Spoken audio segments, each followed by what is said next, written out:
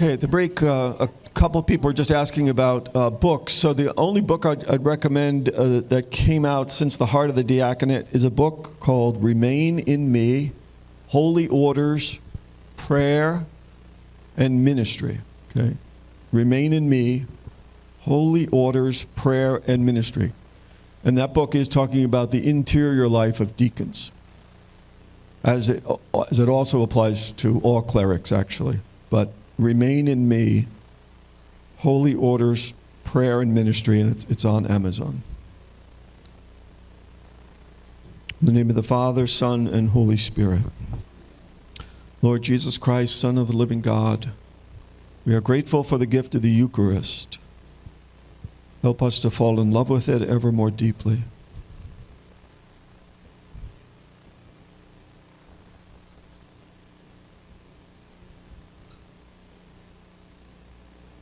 In the name of the Father, Son, and Holy Spirit. Amen. So, for a time there, I was director of uh, the diaconate for the Archdiocese of Omaha, and I would always tell the guys who were in formation that they should make a Eucharistic act each day. And that could be a visit to the Blessed Sacrament or a daily Mass. But I think it's essential for clerics to deepen that Eucharistic imagination, and that's certainly one of the ways to do it. Uh, if the schedule allows, or if we're not rationalizing our schedule, that is a very doable thing. Either daily Mass or a visit to the Blessed Sacrament or holy hour, a, a half a holy hour, whatever you think you can do. But since we stand in the ambo and since we proclaim the word, the more the Eucharist is affecting us and we are in love with it, the more we're going to, by grace, be able to lead our people more deeply into that same love. Well, we can't do that unless we love it ourselves, obviously. The scripture I just want to share with you today is Luke 14. Luke 14, 16 to 24. Luke 14, 16 to 24. I would say that this is the most important diaconal scripture in the New Testament. Prescinding from, of course, the foot washing scene in John's Gospel. But this one totally encapsulates the diaconal identity and ministry. And the more you use this as Lectio Divina in your own private prayer with Scripture, I think the more your Eucharistic heart as a deacon is going to come to life. Now, there are a lot of silly, silly ideas out there about the Eucharist, um, and usually it's along political lines, which is even more silly, because none of this stuff is going to last, politically, I mean.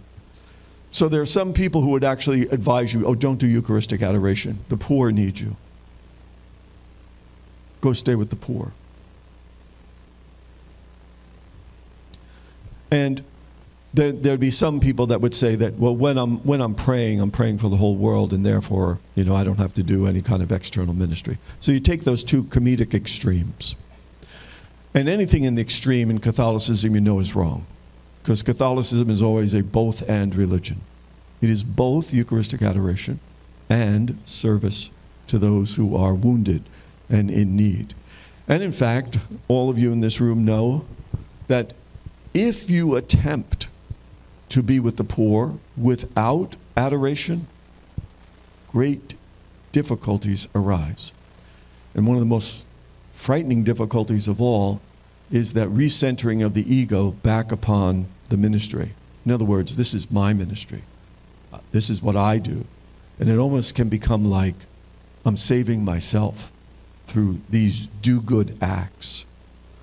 But if you immerse yourself in the daily Mass or you immerse yourself in Eucharistic adoration, you know the mystery of Luke 14. And the mystery of Luke 14 is sent. You're sent. If someone stays really long and deep enough in Eucharistic adoration, at one point Jesus is going to say this to them Go. Get out of here. Go away. If they're really listening, adoration and contemplation always become ministry. Always. If they're not listening, then it's some type of, you know, neurosis or some type of emotional problem. But if you're listening, there's an integration between the contemplation and the participation in the Eucharist and the capacity to actually minister in power. And once again, I just draw your attention to the saints. People always say, you know, you're busy, you're busy, you're busy, you're doing this, you're doing that. You don't have to be that busy. Just become a saint. Saints are not busy. You ever notice that? So I'll go back to my friend Father Solanus. So he would sit by the friary door because he was a simplex priest. They thought he was a little stupid and he couldn't hear confessions and he couldn't uh, preach at Mass because he didn't understand languages. And at that point, it was, it, this proves he was stupid. He was an Irish kid who joined a German province of friars. It's like, what's the matter? What's the matter? So he couldn't master the language. They didn't know if he was Orthodox, doctrinally, whatever. So anyway, you can say Mass as a simplex priest, but you can't preach or hear confessions. Okay. So he'd sit by the door and open the door to people's problems. He was the liminal presence. Mrs. You know, Shimawat comes in, Father Solanus, my husband, he's out of work. I don't know what to do. I got three kids. We're not. Father Solanus, we ask the Lord to bless this woman. Okay, go home, trust Jesus. Here, make a little donation to the Capuchin missions and go to Mass. Gone. You could be home for meatloaf with that kind of life. See that power? See how that's not about you? What's the time? No time. Go to Jesus. What are you doing hanging out here with me? When we gather people around ourselves, scary, dangerous. When we think we're that necessary, scary, dangerous. When our wives cry out, You're not home, you're always at the church, scary, dangerous. Saints know that they are to send people to Jesus, not to themselves. And saints know that all the power is in that person's capacity to trust and be vulnerable and open to the living God. Notice also what Solanus did.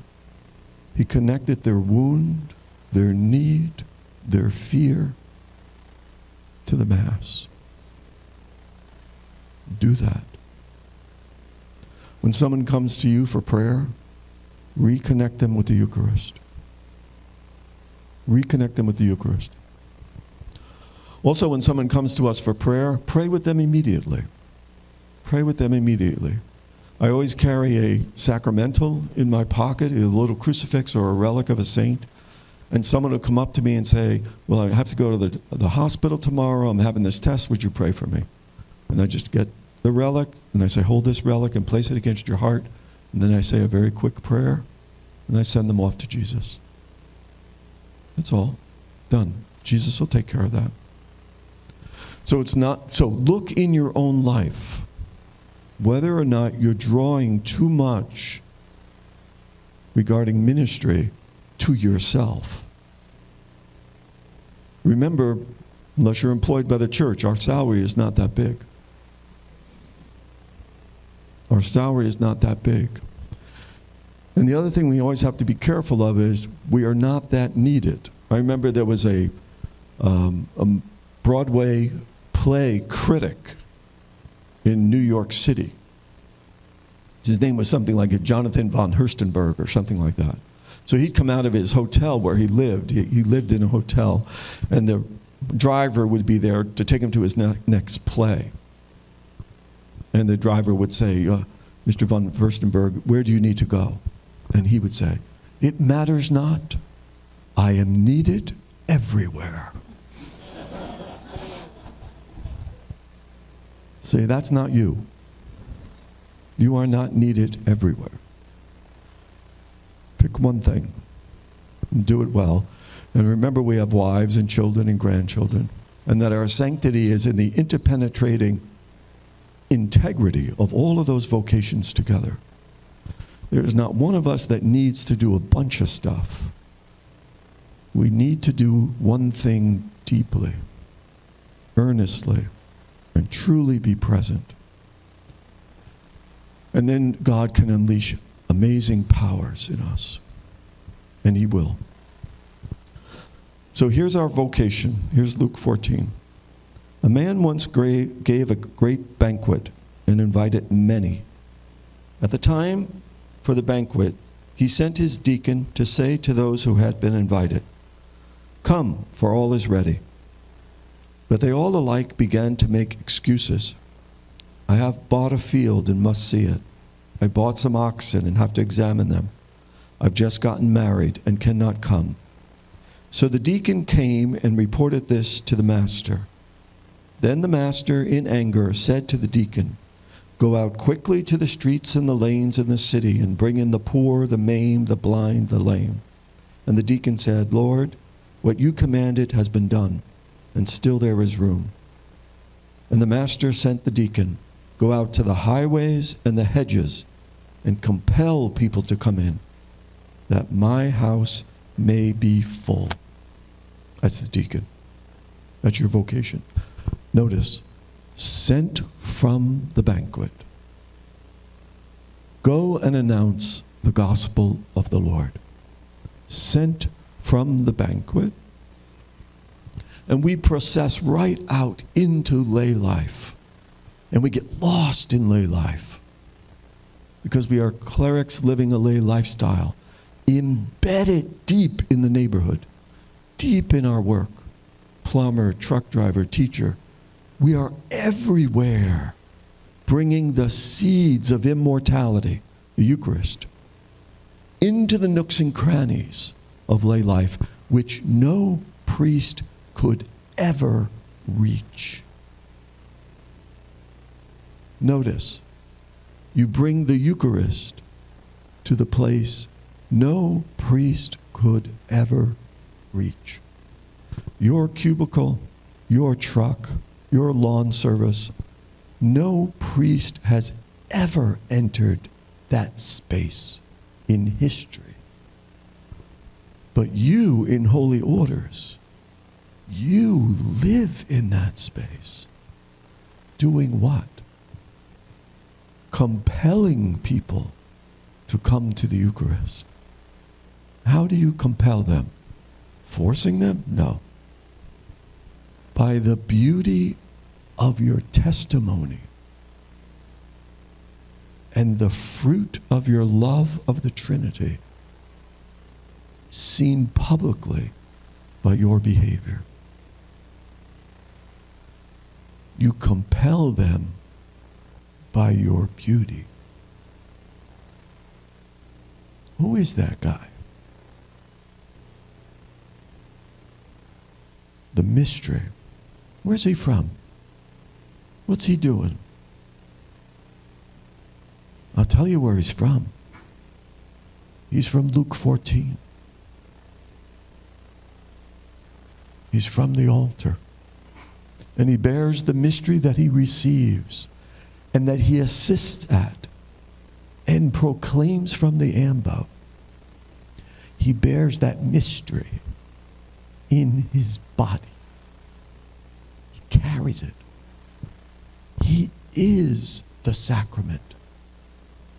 He doesn't bring the anointing of the sick. He is the sacrament. Just being in your presence, people could be healed. If you are drawing deep from the mystery we talked about in the first hour if you're not just an ethical do gooder, but a supernatural man, you can heal. Never reduce or be embarrassed.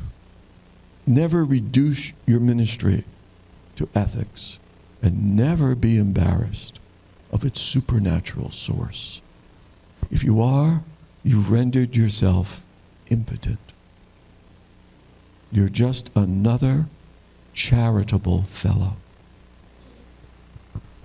If you cut yourself off from the supernatural, then we are unworthy of our being a sacrament ourselves.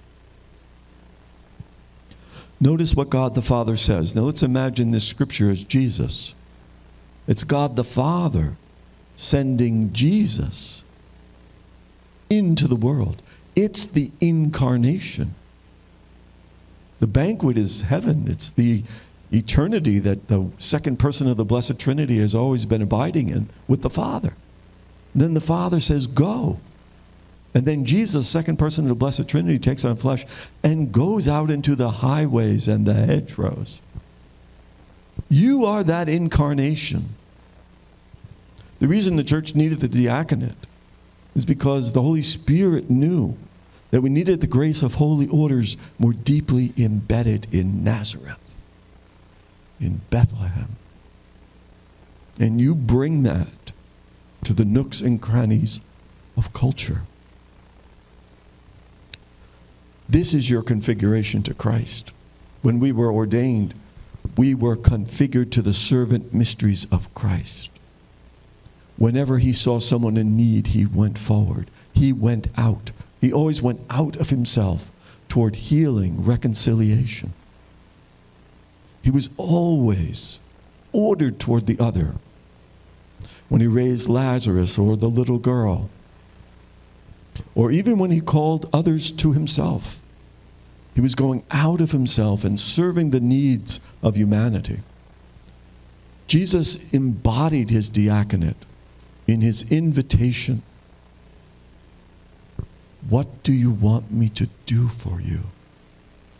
That most powerful of diaconal questions in the mouth of the Lord Jesus. What do you want me to do for you? And then, whatever the answer is, we pour the gospel into that wound. But to do so, we have to be in the Word, fascinated with the Word, lovers of the Word. Every Sunday we stand in the ambo and the people see you and they say, that man must know Scripture. Do you? Are you in the Word so deeply that you can pour it into the wounds of those you are sent to by the Father in the highways and the hedgerows? Most important, second most important thing we attend to the altar. If you watch diaconal ministry on the altar, it is a ballet of circulation, circulating the gifts from the people, preparing them, giving them to the priest. The priest then offers them to the Father. The Father then offers himself through Jesus in the Spirit back to his church, which then we circulate through Holy Communion at the altar rail. It is pure circulation of love. We are a circuit. We help complete the circuit as deacons. When you receive the wine at the side of the altar and you pour in the wine and the water, and you're mingling that mystery of the incarnation with divinity. And then you give that to the priest so he can raise it. And then the priest does something interesting at the end of the Eucharistic prayer. He gives the mystery back to you. You hold this chalice of salvation. And the deacon has always been entrusted with the blood of Christ. And in those parishes that are able to do it in a more correct manner, you would have perhaps two priests giving out Holy Communion, and the deacon would always be on the side with the chalice. That aspect of the mystery of Jesus, which has been entrusted to our order, the blood. And how appropriate is that? Deacon, go out quickly to the streets and the highways, to the hedgerows. Bury, bury deeply the blood of Christ in the culture. If you imagine a human body, the circulation of the blood keeps that body alive. And it goes into the deepest, darkest crevices of the body to do so. Blood reaches everywhere. That's you. You're not holding that chalice as if the priest would say, Well, since you're here, you might as well do something. You're holding that chalice because it is intrinsic to diaconal sending. Go.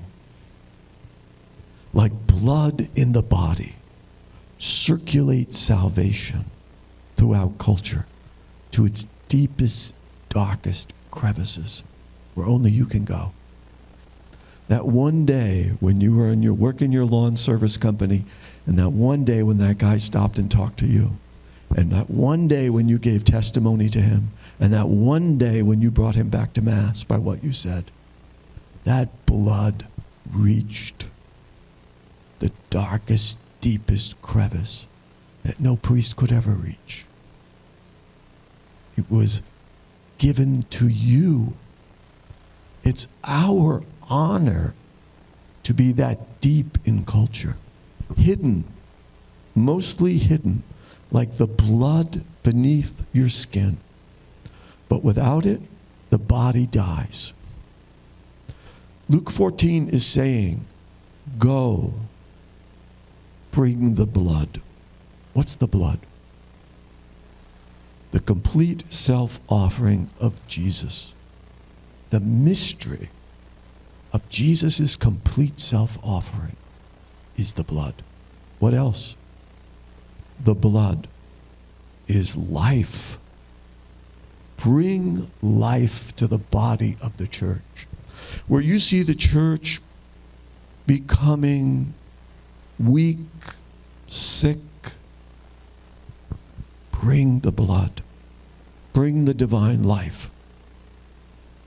Herald its coming by your presence, by your fidelity by your creativity in ministry. But bring that blood so that people know where the source is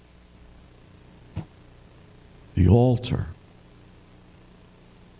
It's not here to entertain them, it's here to revive them because they have gone astray and have gotten lost in the hedgerows and they do not know their own dignity.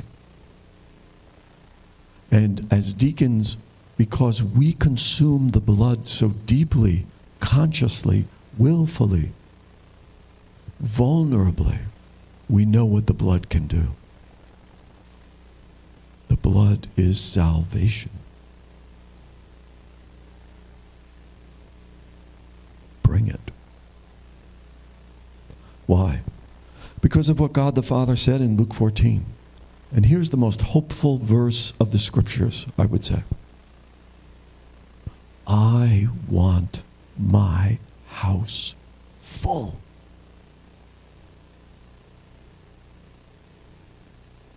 No limit. God wants everyone to participate in his eternal love. I want my house full. And that's why we go into the hidden, deep places of culture to find those people who think that God doesn't want that.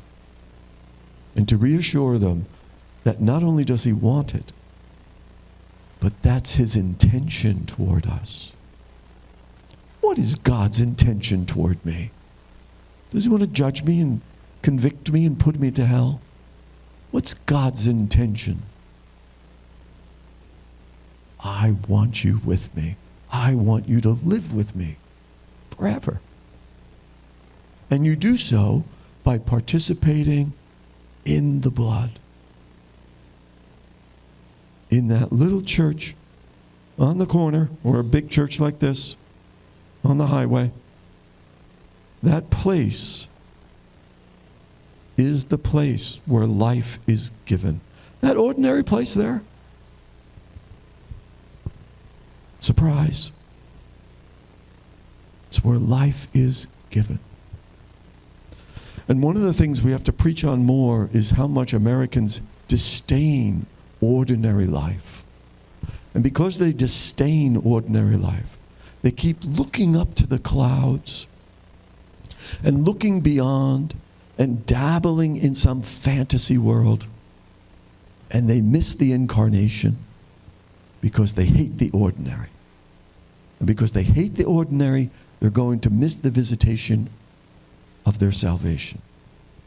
Because the visitation of their salvation came as a baby, not as a spaceship, not as an explosion, not as fireworks. Salvation came in the ordinary as a baby. One of the beautiful things, since we are embedded in lay life so deeply, to be heralds of the goodness of the ordinary. And notice how much God uses that bread, wine. Anything else? Could you jazz it up a bit? It's pretty ordinary. Bread, wine. No. Where? On the corner of Fifth and Locust. What? Salvation. You kidding? Bread, wine, Fifth and Locust? Yes. Go there and you will live. But you have to stop hating ordinary life because God has deigned that ordinary life, in other words, sacramental life, is the way of salvation. The deeper you go into the sacraments, the closer you're going to be to the one who says, I want my house full. As I said, for a while, I lived in Nebraska, and when Marianne and I moved to Nebraska, we moved to Omaha. And just like up in North Dakota, there's nothing in Nebraska. If there are any Nebraskans in here, I apologize. But we went to Omaha, and every so often we'd say, Well, Omaha's a nice city, it's, it's big, it's nice, but I wonder what's outside Omaha. Nothing. And we were from originally from New York, and we would drive out Omaha and we'd start seeing these big buildings, and they were grain elevators. So we thought, oh, here comes a town. No, those aren't towns. Those are grain elevators. First of all, we had to figure out what the hell that is. We didn't even know. And always in Nebraska, beneath a grain elevator, is a gas station called Casey's. And all they do is sell pizza. Pizza, gas, and for some reason they hover around grain elevators. And when I had to go and direct the deacon program, the Archbishop said, You can't have the program in Omaha because our archdiocese goes way out to the middle of nowhere. You got to find a spot in the middle of nowhere and have your program out there. So I had to drive out there once a month. And I would go through this town called Rogers, or I always forget the name of it, Rogers or something like that. And the sign said, as I passed by, population 33. And it was always like, thank God for those three. Right? They didn't knock those three off. They didn't round it up or round it down. It was 33 people in Rogers, Nebraska. And basically, Rogers, Nebraska was a grain elevator, a Casey's, a Catholic church, and some other little enterprises. And I met a woman who had lived there her whole life. She was 80 something years old. Now, I, I passed over that very quickly. I met a woman who lived there her whole life. You can't see in my demeanor right now how frightening that was to hear. You were born here? Yes, I was born here. In this place? No, I didn't say it like this. In this place? And you never left? No. And she fell in love with some kid who lived there and worked in the grain elevator. They got married. They had two girls, baptized, Girls, you know, got married at the church, then they left, of course. They don't live there anymore. Husband died, he was buried from that church. She still lives there, goes to daily mass if she can. Now, as an arrogant New Yorker, like, What the hell? How do you live in a place like this? Right? So she didn't say it this way, but this is how she described it in my interpretation. She said, Oh, excuse me, Mr. Superficial. I live here because I live in the depths. I don't live in Rogers, Nebraska. I live the sacraments. I live in the sacraments. I'm a Catholic. I'm a wife. I'm a mother. I live there. Where do you live? Catholicism is mostly about depth, deep. That's why Father Solanus could say when he goes to Huntington, Indiana, Will God be there? Doesn't matter. Depth is everywhere. For the superficial, they are always agitated, always restless, always lonely, always looking for the new, the novel, the next. They're always trying to escape. That's why fantasy is so big in the U.S. today. We need to escape what? Reality. What's the Eucharist? The most real of reality. You can't get any more real than the life, death, resurrection of Jesus Christ, offered to you as your salvation in your broken humanity. You cannot get any more real. And yet people are moving away from it in droves, choosing fantasy instead, choosing escapist behavior instead. Talking to this guy the other day, living, living to go on an Alaskan cruise. An Alaskan cruise. And this is the most quintessential American thing. If anyone's been on an Alaskan cruise, I apologize to you. But what I'm going to say is, um, I mean to undermine it. Think of looking forward to that. All you do is you put America on a boat and ship it up to Alaska and look over the rail and see a whale and go, there it is, the whale. And then you go back to your casino, your shopping mall, your hotel room, your restaurants. In other words, you go back into America, but you're just on a ship. You were so afraid of reality. You brought the entire culture with you to Alaska. So you could take an Instagram picture of a whale and say to people, There's my whale. Ha ha. I did something new and novel and next. And you're stuck in Rogers. While I'm up here in Alaska with all the rest of America. That is the saddest thing I've ever heard. The happiest thing I've ever heard is that lady in Rogers.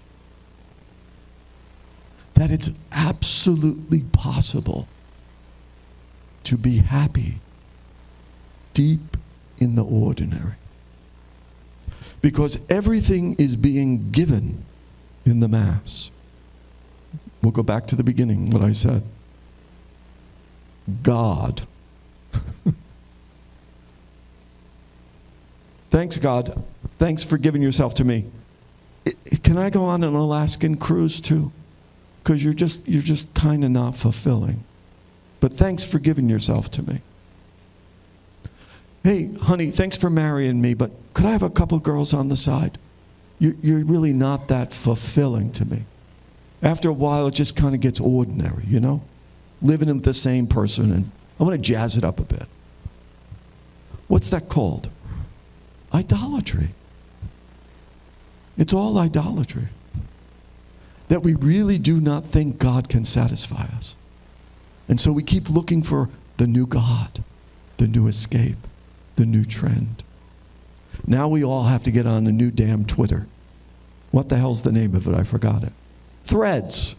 You got to get on threads. Because the next 20 year old who walks in is going to say, I got on threads. Oh, that, that's right. That's my son. No, I got on threads. You got to communicate. What the hell? I don't have to communicate with you at all. If you keep changing reality every five seconds. No. How about we just talk when I see you? Nah, forget it. Jazz it up.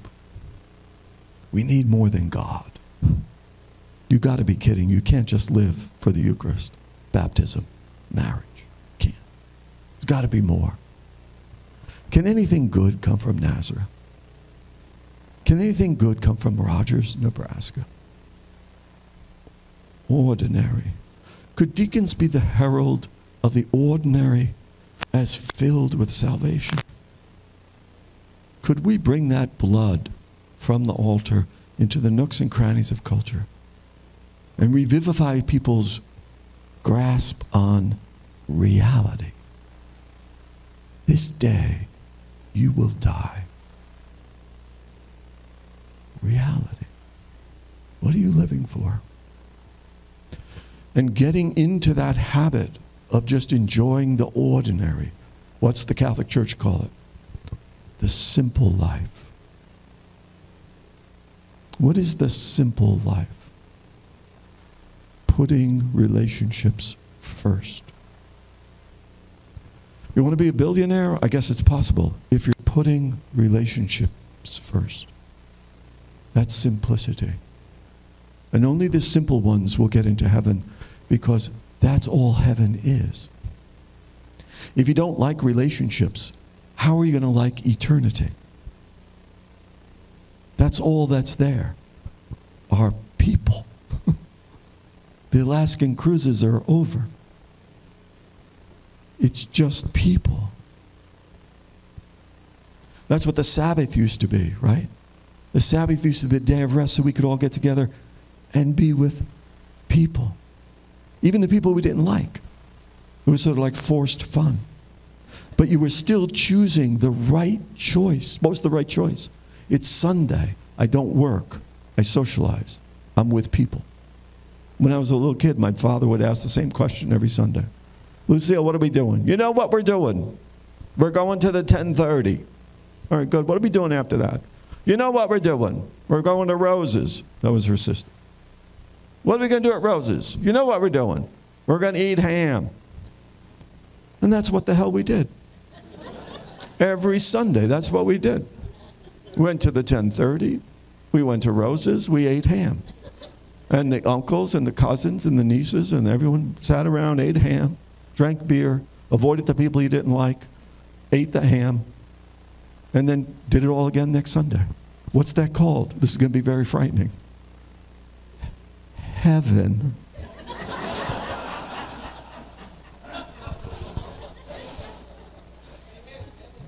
yeah, I know there. No ham, it's kosher. But heaven, that's heaven. Minus the sin, minus the sin, but it's heaven. So minus the sin means, you know, Uncle Festus won't be there. but minus the sin. All that circulation of love, all that love is going to be, that's eternity. And St. Catherine of Siena and Catherine of Genoa said, if you are not in heaven before you die, you ain't going. Because heaven is all the way to heaven. You're not going to be surprised. You're not going to die and say, How the hell did I get here? Because you're going to be in heaven before you die. There's continuity between this earth and eternal life. There's not discontinuity. You are either becoming that man dead to all things and alive in Christ, or you're not. Heaven is all the way to heaven. So we have to learn the ways of living in reality, living in the ordinary, and seeing it as ennobling and sufficient for my human nature. We have to learn those ways. This is what my wife tried to teach me, and she was very successful at it, actually. when we first got married, I was finishing my doctorate and I was very busy. And I would go teach. I was teaching and then I was going to school at night. Teaching, going to school at night. Very busy. So my wife said, Hey, you know, I don't see you anymore.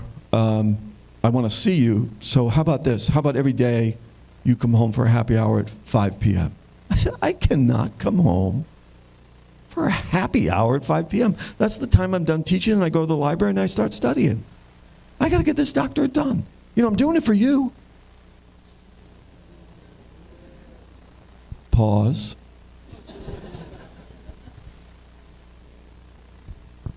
And she just looked at me. And there's a look, right? And every man in this room knows that look. And it's, it's, it's a look that makes a husband, let's just say, and this is polite company, so I'll say it politely. But when the wife, and it's magical almost, but when she gives that look, like the husband is frightened unto defecation. It's just, I, I must obey. I don't know what the next thing is. And she didn't even say anything. But that look, so I just turned around and walked away. And as I'm walking away, she said, Five o'clock. So I went to work next day. 4.30, closing my books, getting ready to go to the library. Damn, I gotta go home to the one I love. Man, what a pain in the ass. I know I chose her and all that stuff, but doggone it, I just want to study the Bible.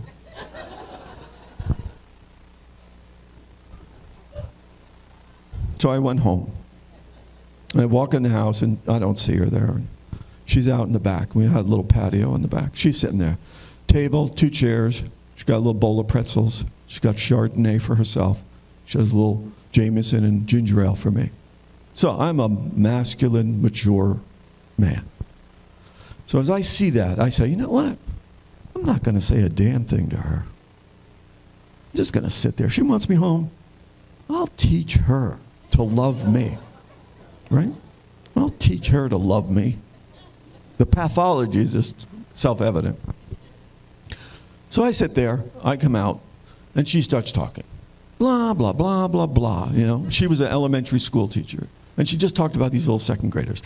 Bobby did this, Miss uh, the copy machine broke, blah, blah, blah, blah, blah. She's drinking her Chardonnay, blah, blah, blah, blah, drinking, grabbing a pretzel, Chardonnay, blah, blah, blah. I'm sitting. Huh? Huh? How's this? Huh? I'm sitting. She downs the Chardonnay. She's done talking. She gets up. Only about 15, 20 minutes. She looks at me and she says, Thanks for coming. I'll see you here tomorrow.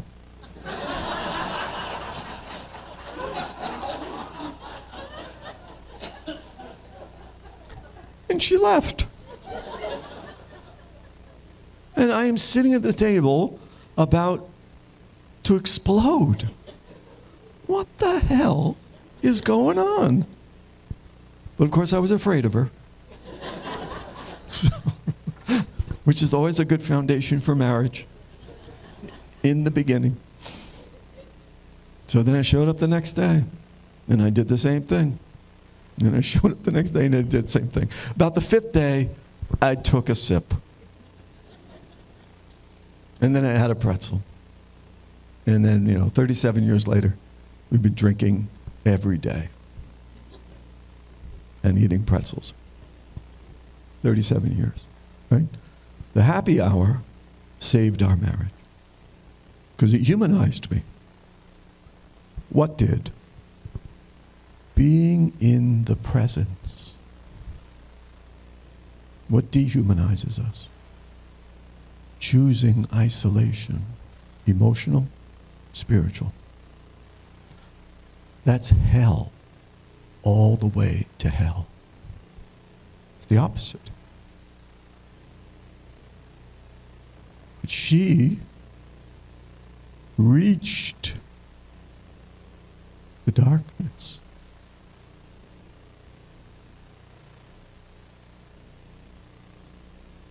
and called me into his own marvelous light.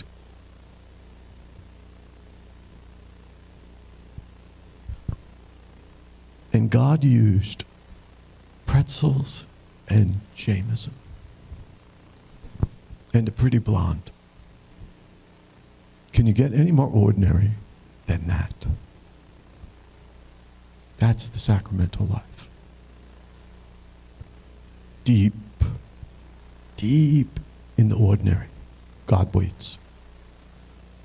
The deacon, Luke 14, sent into the depths and folds of the ordinary. Go find those who are lost in the, in the dark and bring them the blood of Christ. Bring them life. Bring them life and life to the full. In the name of the Father, Son, and Holy Spirit. Lord Jesus Christ, Son of the living God, we thank you for everything you are giving. Teach us how to receive.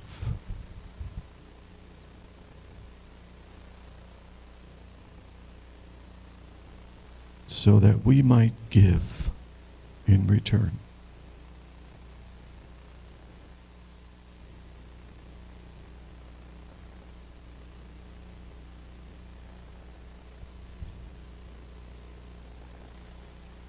In the Father, Son, and Holy Spirit. Amen. Okay, are there any, uh, we got a little bit of time, any comments, confusions, graces, meditations you want to make for the next five minutes or so? Any comments, questions, graces, confusions? What would you, what are you going to say out in the hallway that you should say here so we can clarify things?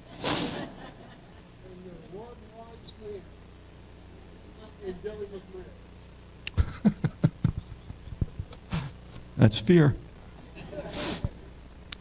Any comments, questions, confusions?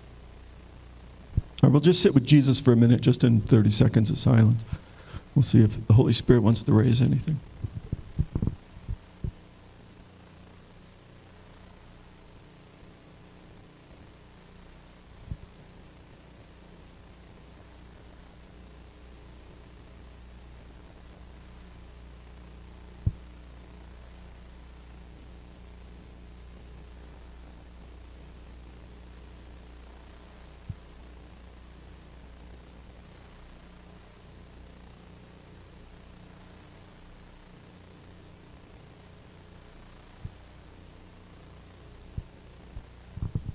Okay, anything there? Yep.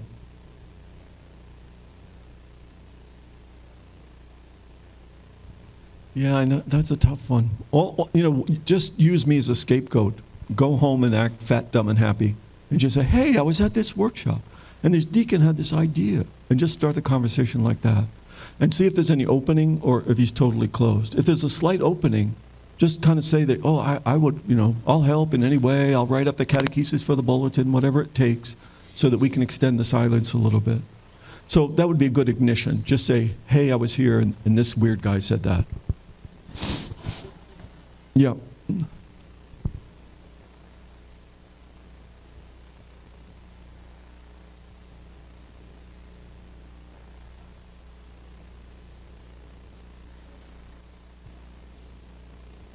Yeah. Yes, that's the biggest. Yeah, that's the biggest discernment. How do you just do the one thing? There's the first thing that has to be evaporated in our mind is that doing more will speed my salvation. That that is hidden in the depths. Like because we're we're all still wanting to give our resume to Jesus. And and that's that's hard to get out of us. And there's nothing in Scripture that I've ever read that said the multiplication of many different things is salvific. Not at all. You don't think that a guy who just dedicated himself to going around the corner to the nursing home that was in his parish confines and did that for 30 years, you don't think that's worthy of being a saint? The one thing? Of course it is. So we have to purify ourselves of thinking that the resume is impressive to Jesus. I- remember once I got hired at a job and they didn't look at my resume. I was so pissed. I said, Come on, look at all this cool stuff I did. How can you hire me without looking at it? My identity was in that cool stuff. And that's purgatory. That's what purgatory is going to be. Jesus is going to open the door to a deacon and say, Hey, welcome. Why'd you do all that stuff I didn't ask you to? Welcome to purgatory. Because that ego of yours has got to be pruned. Right? You left your wife to go and do all these multiple things. And then the other thing is, excuse the expression, but you got to man up a bit against priests. And here's, here's what, this is very interesting. Priests would always call when I was director and say, hey, we need more deacons, give me more deacons. Oh, really? What do you want the deacon to do? Well, I want to take community to the hospital and visit nursing homes and homebound and all that stuff. I said, you know who can do that? A layperson can do that. I'll give you the number to the lay uh, formation office. When you're ready to have a brother cleric, imagine with you the new spiritual life of your parish, then call me, I'll give you a deacon. Because priests do not know that you are brother clerics. They just see you as free labor. And every time they see you as free labor, you must turn them toward lay ministry. Sorry, you don't need to be ordained to do that, Father. Sorry, you don't need to be ordained to do that, Father. What you need to be ordained to do is for me to dream and pray and lead this parish with you. That has to be the new model for the diaconate, or it's not going to last. So you've got to kind of man up. And believe me, as a seminary professor, they don't give the permanent diaconate one iota in formation. They don't even know who the hell you guys are. They are only formed in priestly things. So when they come to the parish and they meet you, the only thing they're going to extend is whatever their experience is of the diaconate. They were not theologically formed in it at all. It's an incredible lacuna. And maybe you guys just read, you know, uh, Greg's, Deacon Greg's uh, column that not one deacon has been invited to the synod. Not one deacon. Nuns, lay people, priests, cardinals, bishops, archbishops, monks, hermits. Not one deacon. We got a big problem with ecclesial imagination around the sent servant. We don't, we don't inhere in that imagination. Now, to one extent, we could say, well, that's pretty good. We're hidden, we're left alone, we can do what God wants. On one level, that's good. On another level, people shouldn't be ignorant about what a deacon is, especially a priest. So man up and say no to him and get lay people to do it if he needs help. And the, yeah, and the, the other thing was that to say no is very important for your other commitments, especially your wife. So you're always, remember, your first spiritual director is always your wife. So take the barometer from home. I remember a couple times at, at home the phone would ring, and it, those were in the days when you had phones, and it had like a user ID, and it came up St. Margaret Mary Parish. And I'd look and I'd let it ring. And Marianne from the kitchen would say, Pick it up. That's it. she's my spiritual director.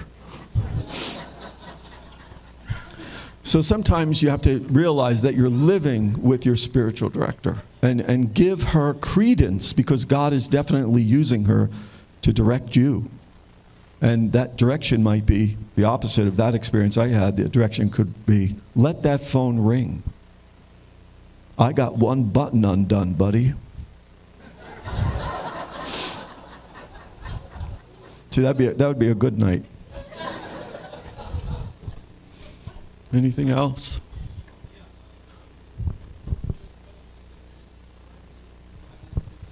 Okay. Okay. That, that's fine. Thank you very much, as long as they're from somewhere.